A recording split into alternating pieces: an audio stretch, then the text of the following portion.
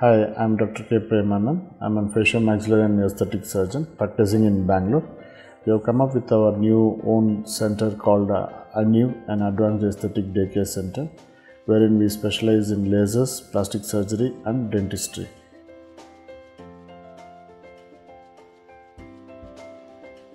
Coming to the suntans and age spots, basically what the public or what the general view of a laser is, it is very harsh and it gives you a burn or it cuts or it penetrates or is it it's not safe.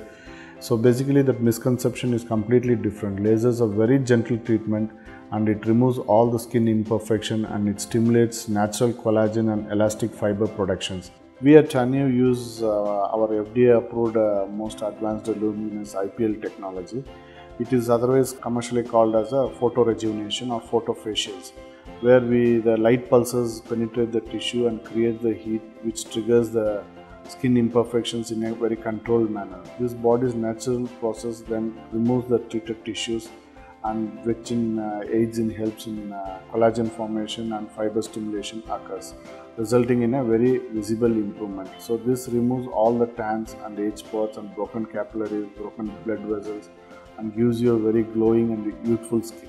And this laser uh, age spots and suntans removal not only improves the skin condition or the tone of the skin, it also improves the pigmentations and uh, you can see a very distinguished, uh, very good results of the depigmentations which are being achieved by the lasers. And usually the, the laser, this works not only on the face but it, it can be done even for the, you know, behind the shoulders, the neck region where you get these dark patches and even on your uh, complete body anywhere you find there is any suntans or any these things this can be safely done. Thank you